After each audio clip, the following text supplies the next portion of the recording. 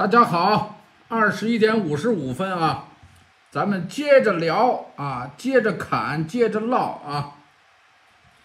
嗯，朋友们，周末好，继续跟大家聊反腐正能量。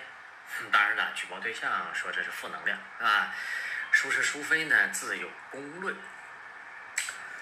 有个案子，山西高平的女市长杨晓波的案子的许多细节披露出来。山西高平，呃，这个女贪官呐，与四十一名高官有亲密关系。哦，四十一个展开说了是吧？嗨 大家自己想。反正我的视角来看呢，说明我们这位 小郭大姐啊，身体不错啊，身体好啊，身体好啊，配了这么多把钥匙，一三五二四六，哎中午日都休息不了是吧？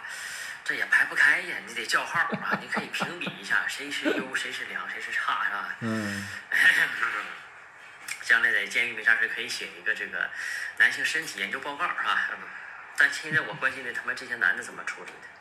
嗯嗯嗯呃老杨吧是师专毕业，啊，在晋城矿务局从事人事工作，在组织部又干过。你就这简单的这几步，我跟你说，对一般人都很难。你没有贵人相助是不可能的。当然了，他也很对得起他的贵人，啊，个人生活、私生活那是相当的丰富，那拿下了许多上下级，啊，呃，当面说，啊，要清廉，要做清官，背后贪污受贿。那很多这个贪官哈，没落马之前，我跟他们聊天，你一提到反腐这个事儿，你就看你盯着他的眼神，他眼睛都是有理啊，这个屁股像有刺儿，坐不住啊！哎呀，二婶呐，这个不能这么说啊，不不不能这么说啊啊！我都有录音的啊，没事我都拿出来享受享受，等必要的时候给大家展示展示啊，嗯，等落马的啊，落马的。现在这位杨市长忏悔的时候又哭了啊！你这前后 反差怎么这么大呢？辜负了教育，床上付出多，仕途自然有收获。后来在晋城区里边当学生部长，女的嘛啊，一般就好当个这个务虚的官儿啊，这样的职务。四十岁当了一把市长，当地的纯二把手啊，四十岁呀、我都快四十了，还车间工人呢，人生差距就是这么大，没办法。这就和我们这个举报对象黑龙江日报原来的这个女社长袁晓光啊比较像，她也是年轻有为提拔起来的，但现在叫我们干跑了，但还没干进去，我们还会继续干的啊。上人给钱，来者不拒啊，这杨晓波市长是吧？这谁给的多，项目就给谁啊，钱也收，宝石戒指，来者不拒，女人嘛就喜欢这些东西，奢侈品啊。他和我们另外一个举报对象黑龙江日报的。原社长杨殿军是本家啊，是本家啊，这可以。那你们可以多沟通经验啊，多沟通啊。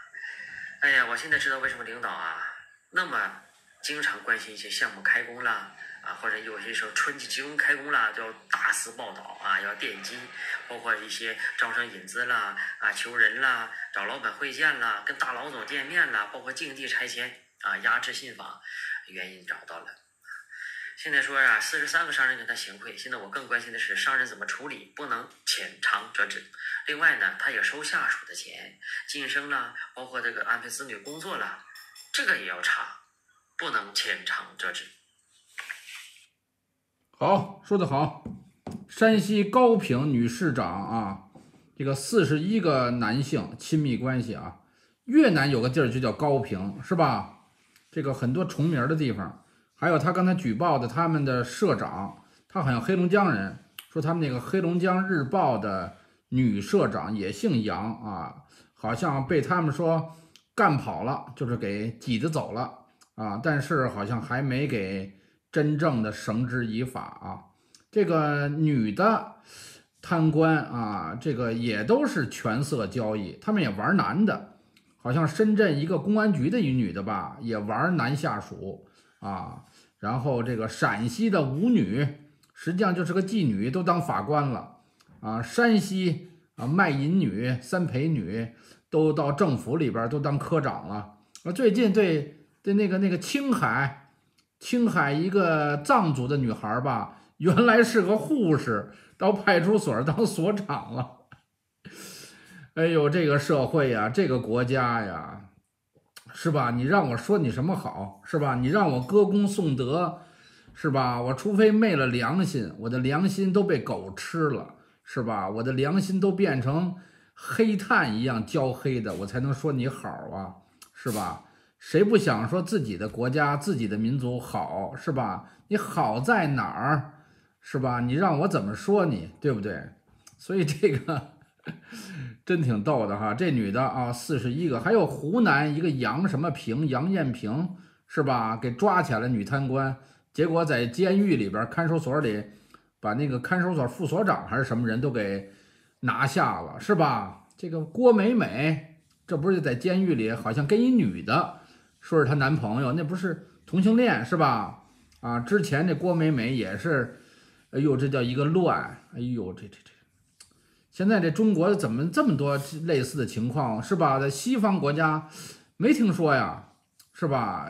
比如说西班牙呀、美国呀、日本呀，这种事儿的频率要比中国可低的太多了，是吧？或者说人家比较隐蔽，还是说我们故意的不说？我们是汉奸，是吧？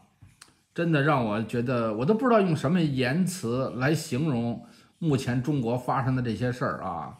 到处是贪污腐败、权钱交易、权色交易，这个任人唯亲啊，裙带关系，哎呦，真的跟公平正义一点边儿都沾不着，就是地狱，人间地狱。